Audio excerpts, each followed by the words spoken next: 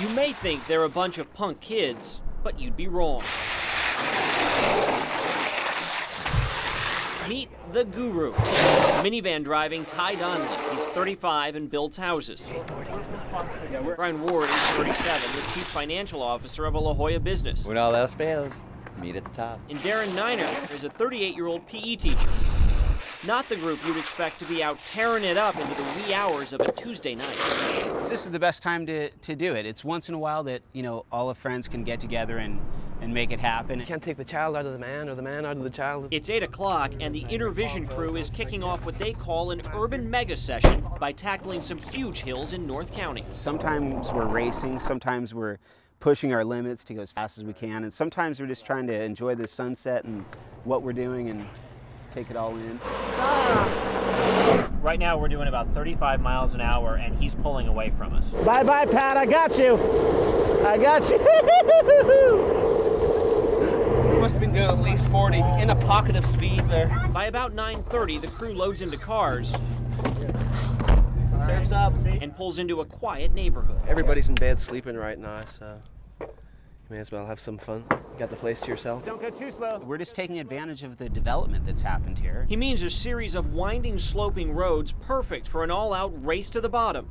They call this hill surfing, but it's a bit like snowboarding too, just without the cold. Small parking structure for the type that we usually do. But at 11 p.m., it's about to become an empty racetrack in the middle of Mission Valley. It's five floors. That's high enough to really get going, and the first one down wins. Oh, it's incredible. Uh, every single day. Concrete structure. This must have been built for us, was it? We got a couple runs in before we had to run. Security chases out, the police came, they put a beat down on us, but um, that's okay, it happens. It's on to a Linda Vista hill they call Black Ice for a few quick runs before the clock strikes midnight. What time do you need to be at work in the morning? I usually get to the site about 7 a.m. Drinking and cigarettes, smoking will keep you old and keep you on the mattress.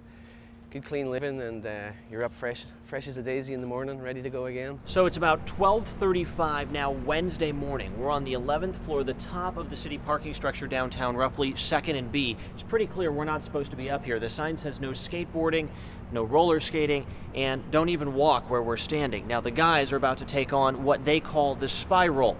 It's all 11 floors, round and round and round. This is dessert. And you know you're gonna go fast, but it always puts butterflies in your stomach. You're always like, gosh, this is gonna be really intense that I'm gonna go through. Wasting no time, the guys are off. Wow. Somebody help us. And before long, they're speeding out of sight. It makes you a kid, and that's good. I mean, that's what San Diego's all about. Breakfast burrito tomorrow morning. Do this thing all over again.